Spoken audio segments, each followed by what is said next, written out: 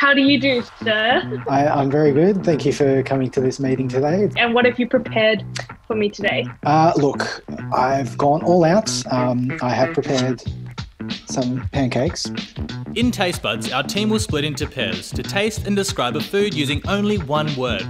Then we'll see if our guesses can figure out what that dish was from the word hints alone. Let the games begin. I've absolutely drowned them in um, maple syrup. Oh, look at that presentation. I got a whole bunch here. Maple bananas. The one that wasn't as good, the first pancake on the bottom to like disguise it. Never be sad about the first one going to waste. I feel like the first one is just a purge, and then you get to the real pancakes after. I feel like a word that immediately comes to mind is like fluffy. Like, even before I ate them, in my mind, I'm like fluffy. I feel fluffy is a word that everyone uses every episode, no matter the That's meal. true. What if we all just pick fluffy and that, like, the only words that they have to guess from is just fluffy? Maybe like layers. Layers. Because it could Layers. be onion. yes. This week we all ate a raw onion. Our word is Topping. Our word is Sarah. The word that we're going to go for is Flat. Our word is Layers. Oh, lay. Layers. Layers. Our word is Flippy! I'm gonna do that again. Flippy! Flippy! Flip! Flip! Welcome everybody to our final episode for season one of Tastebudz. We've got Mela, we've got Anne, we've got Katina. How are you all feeling? excited.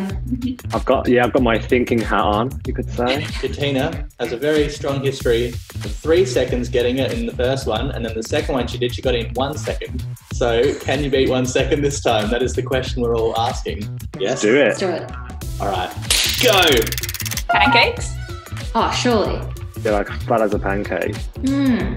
Yeah, just pancakes. Like, could it just be the one word? It's not like they've said like a different word, like like a savory food that goes with it, or or something. So maybe it's just pancakes. Or do we go pancakes and syrup? Wait, but didn't they say syrup? Wasn't syrup one of the words? Syrup was one. Yeah. Yeah. Let's Yeah, lock it in. You locking in pancakes? Pancakes. It's going to be embarrassing if you get it wrong and it's like a pavlova or something. Imagine. So, you've locked in pancakes for the last time in season one.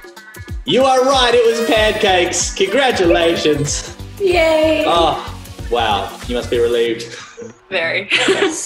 Well, that, that's it. That's that's season one. Woo! Done. That's a wrap. Congratulations, team. Thank you for joining me today on this conference call, Benjamin. yeah. Thank you for joining me, Bo. I appreciate you taking the time. Beautiful. Kind regards. I feel crazy. you kind of look a little crazy. Our word is flippy.